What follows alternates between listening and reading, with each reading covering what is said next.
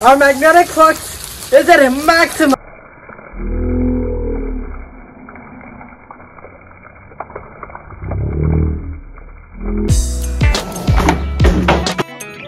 We saw in the last video that a magnet such as this one produces magnetic fields. Now, how much magnetic fields passes through a surface? We answer that question using something called magnetic flux.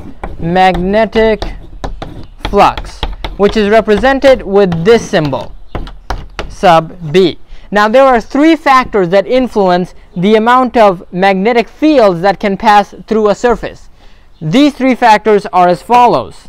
Number one is the strength of the magnetic field. How strong is your magnet? The greater the strength of the magnetic field, the greater the magnetic flux. Magnetic field strength and we represent the magnetic field with the letter B with an arrow on the top because it's a vector field. Number two, what is the second factor that influences the magnetic flux? It's the area. So if you have a larger surface, if I were to enlarge in this purple circle, then I would have a greater magnetic flux because more magnetic field lines would pass through a bigger circle. So that means magnetic flux is proportional to area, which we designate with the letter A. And there's one last factor that influences the magnetic flux, and that's this thing. This, this is the angle. If you have an angle that is more aligned with the normal, then you have a greater magnetic flux. So for example, if all of your magnetic field lines pass perpendicular to your surface, parallel to the normal, then you will have your maximum magnetic flux. As opposed to if all of your magnetic field lines pass perpendicular to your normal line and parallel to your surface, then you will have zero magnetic flux because none of your magnetic field lines will penetrate penetrate this surface, this this surface, this circle. The angle we of course designate with theta. So if you combine these three factors, you can get the formula for magnetic flux. So you get the magnetic flux is equal to the dot product between the magnetic field and the area.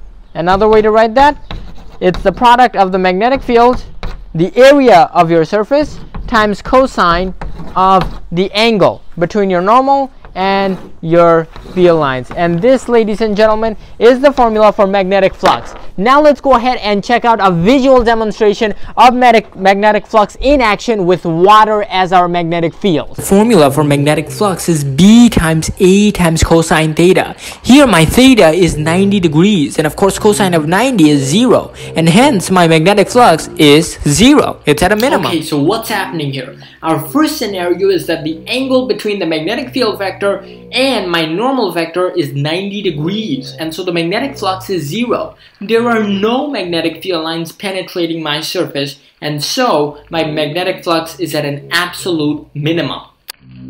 My next scenario is this. The angle between my normal vector and my magnetic field vectors are 45 degrees and so my magnetic field flux is going to decrease now because less of those field lines are going to penetrate the surface. And finally, our last scenario is when the angle between the magnetic field vector and my normal vector is 90 degrees. Look what's happening. Look what's happening. I'm getting completely wet. That's because my magnetic flux is at a maximum and I'm getting completely soaked in water. And that, folks, is the consequence of having a maximum magnetic flux.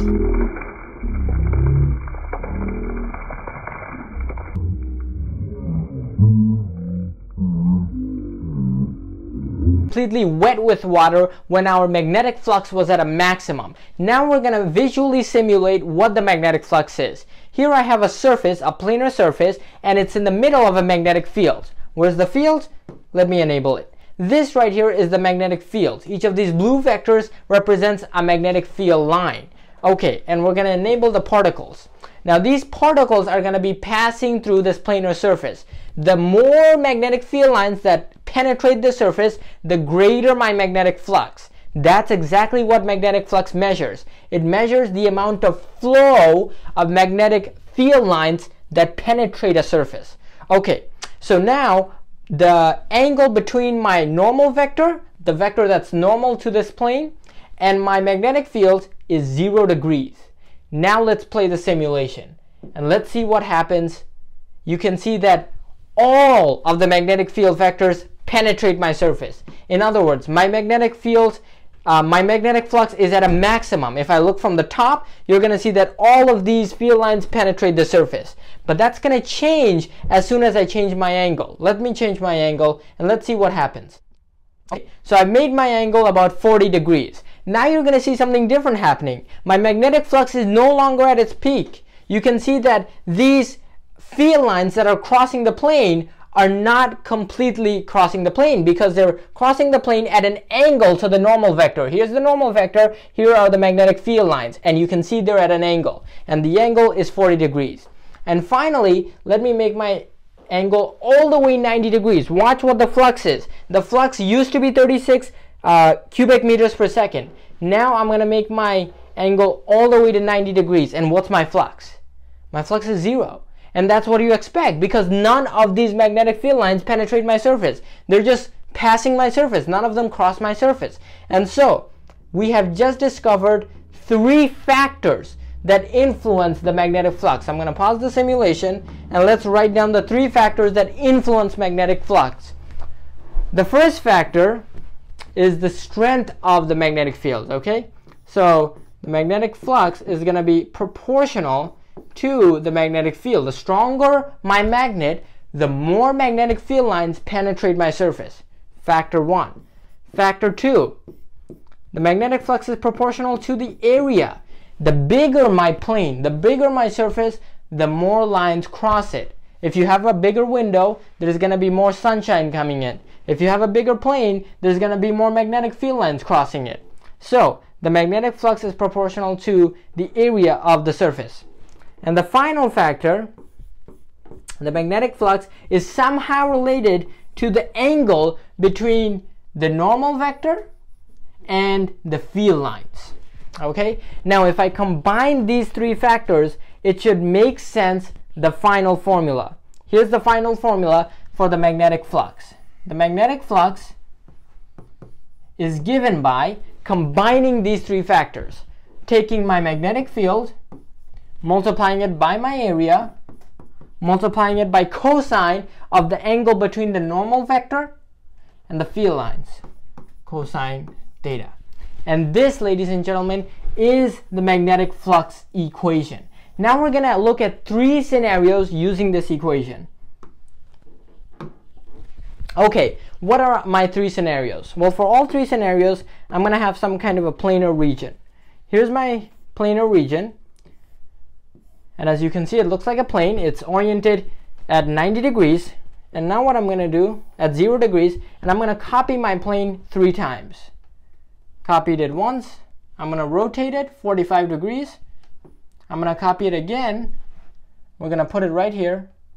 But this time we're going to rotate it again to 90 degrees. So it's completely flat, like a sheet of paper, 90 degrees. Okay, so I have my three pieces of paper, my three planar surfaces at three different orientations. One is at 0 degrees, one is at 45 degrees, one is at 90 degrees. And these three planes are in the middle of some magnetic fields. So these red vectors represent my constant magnetic field, B hat, or B arrow, because it's a vector field. Now each of these three planes are going to have a different normal vector. The normal vector is going to be, as the name implies, normal to the surface of the plane. So it's going to be normal to this one, it's going to be normal to this one, and it's going to be normal to this one. Okay, so for our first scenario, where our angle between the normal vector and the magnetic field line is zero degrees, what do we have? Well, we have the normal vector, which is n hat.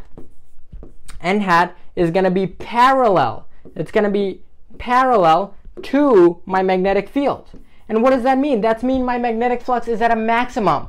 That's when I was being drenched, when I was wet with water. It's because my magnetic flux was at a maximum. And so what can I say?